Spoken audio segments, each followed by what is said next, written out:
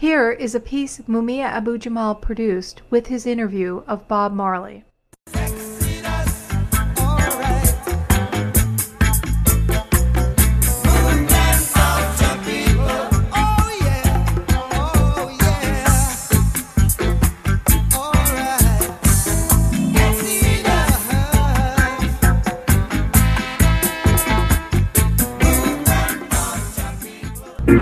The isle called Jamaica comes the Rastaman, reggae missionary Bob Marley, one of a growing number of Rastafarians, believers in the divinity of Ethiopian Emperor Haile Selassie, came to Philadelphia recently to talk about his music, his dreams, and Rastafari, a mystic religious community born in Jamaica back in 1930.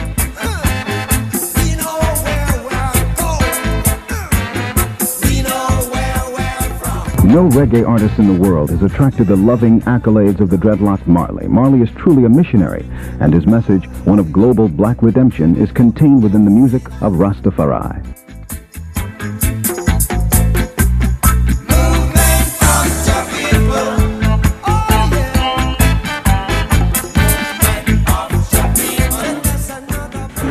But there's an exodus, exodus from Babylon, ways of Babylon, and then the physical exodus to war. You know? So what we really have to say is that we want the black people to unite with one another then, and deal with it. No, the only way we can unite is to unite about the truth. The truth is that King Solomon and King David is a root. And if we are we are dealing with roots, we have to deal with from King Solomon and King David time, Lion of tribe of Judah, you know. So this is why I say time for unity. You know, because we are people, we have something and we have to deal with it. So that's why I say Jed, on that, you know.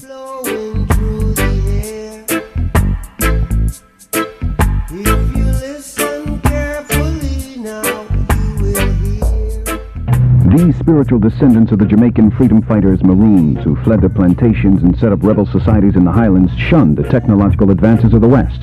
The West, they say, is Babylon, a land of unmitigated evil, greed, and other unsavory characteristics.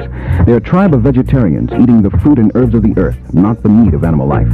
They see themselves as natural mystics with a message for black people the world over.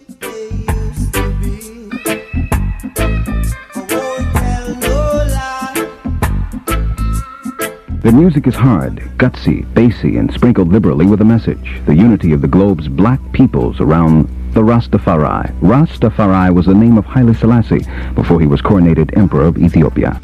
When I come here, I want, I really desire for really get through to the people. I don't want to come here for joke. Yeah. When I come here, when I leave, I want the people them dreadlock, or so them a rasta, and get the thing rebellious. That we can't leave, you know, because we can't continue going at the same thing over and over and over and over again. Cause we're moving right out of Babylon And we're grooving to our father's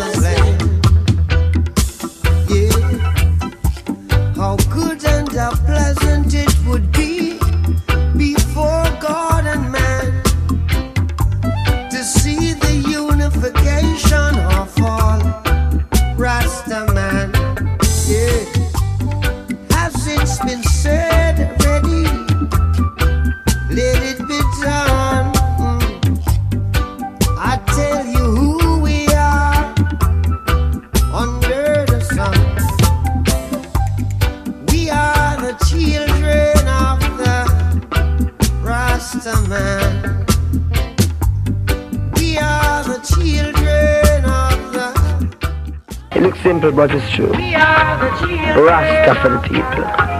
Rastafari for the people. Seeing capitalism and communism, that finish. The Rasta now.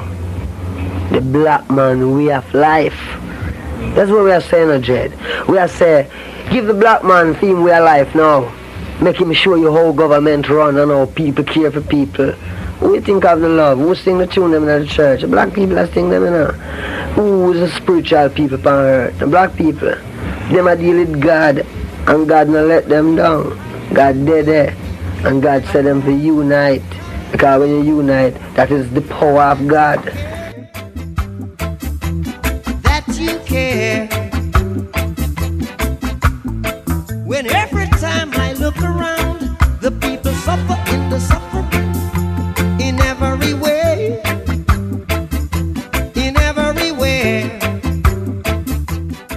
music is militant, its beat moving, its message just is moving.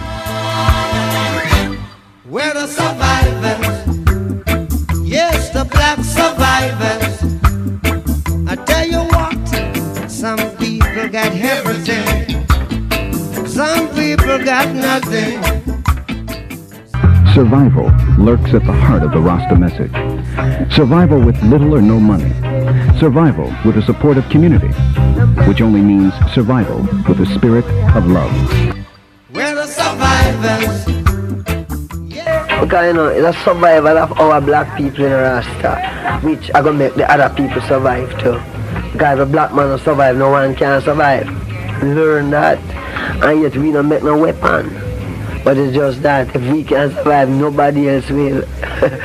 to Rasta. So when I come to America, I said, you them a dread man. It make my heart feel strong.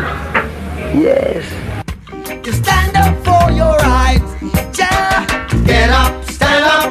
Ja, ja. Stand up for your rights. Get up, stand up. Get up, stand up. Don't A bit of history now. During the 1920s, Marcus Garvey's Back to Africa philosophy affected much of the thinking of the African diaspora of the Western Hemisphere. Nowhere was he more influential than in Jamaica, his island homeland. In one of his speeches, Garvey, already revered as a prophet in Jamaica, said, Look to Africa when a black king shall be crowned, for the day of deliverance is near. 1930 witnessed the splendorous coronation of Rastafari, an Ethiopian baron, as the Emperor Haile Selassie, King of Kings, Lord of Lords, conquering lion of the tribe of Judah. Selassie was a direct descendant of David in a line of Ethiopian kings stretching in unbroken succession from the time of Solomon and the Queen of Sheba. This event sent many religious Jamaicans to their Bibles, where they found support for this in Revelations, Ezekiel, Isaiah, and many other books. Before long, religious leaders on the island were saying that Garvey's prophecy has been fulfilled and preached to the people to consider Haile Selassie the living God and call themselves Rastafaris in his honor. You've heard the story of one Rastaman, Bob Marley, whose message, in essence, is a message of Rasta. That's survival. Bob Marley in Philadelphia. This is Mumia Abu Jamal reporting for Uhuru Sounds. Hail Jah Rastafari.